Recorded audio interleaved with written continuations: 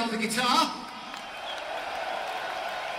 Mr. Steve Harris on the bass.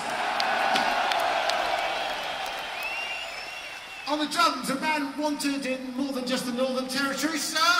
The Mounties, I believe, are after him at the moment. Mr. Nicko McBrain on the drums.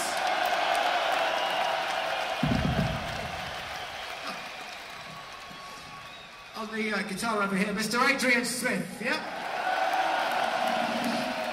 Equally equipped with a dangerous plank, Mr. Dave Murray. So we'll do, we'll do this. We haven't done this in donkey's years. Well, not since the day before yesterday, even in other place. What was called?